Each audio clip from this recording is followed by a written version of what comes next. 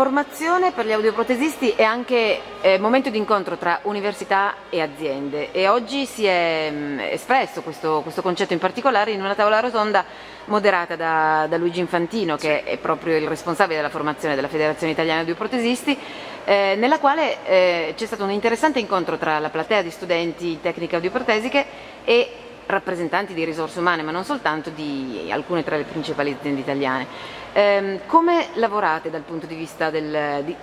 di questa formazione, quindi di, di, favorire questo tipo di incontro e quali sono gli obiettivi della formazione FIA? Diciamo che l'incontro di stasera, di stamattina, nasce da un'esigenza che è quella delle università di mettere in contatto il mondo del lavoro con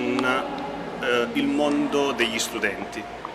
è ovvio che questa cosa è stata fatta un po' più in grande qui perché avevamo una platea più ampia, avevamo la possibilità di ospitare gli studenti, ma come ANAP in realtà è da diversi anni che nelle università che ce lo chiedono cerchiamo sempre di fare da punto di incontro tra questi due mondi e mettere a fattore comune una realtà che è sicuramente la nostra, che oggi offre ancora fortunatamente il 100% di impiego a un anno dalla laurea. Sono dati che il Sole 24 Ore e altre riviste di settore abbastanza attendibili, anzi attendibilissime, ci, ci confermano di anno in anno.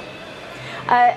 appunto, a questo, a questo, proposito, lei ritiene che gli audioprotesisti attualmente siano eh, sufficienti o, o, potrebbe addirittura verificarsi l'eventualità che sia più necessario ancora invitare persone a iscriversi a questi corsi? Non sono io che ritengo che siano sufficienti, è il Ministero della Salute con dei dati che ancora non sono eh, diciamo, ufficiali e definitivi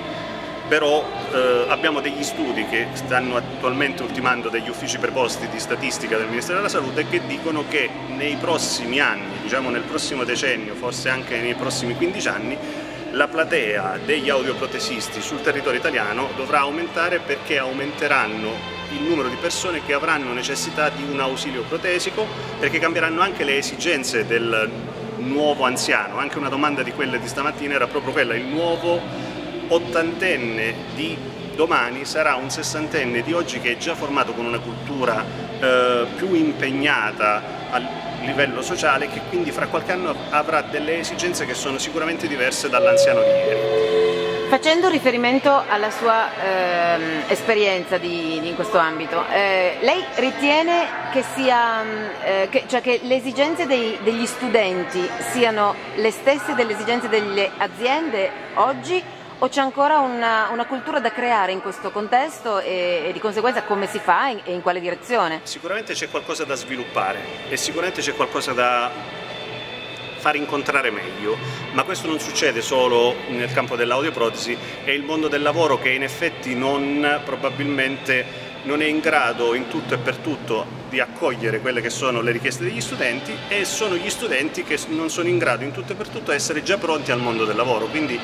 è qualcosa da migliorare. Su cosa io non ho una ricetta da dare, però probabilmente un incontro come questo di oggi, che fa da facilitatore e da incontro, eh, col tempo potrà aumentare questa sinergia sin da subito. Grazie, dottor Infantino e buon lavoro. Grazie.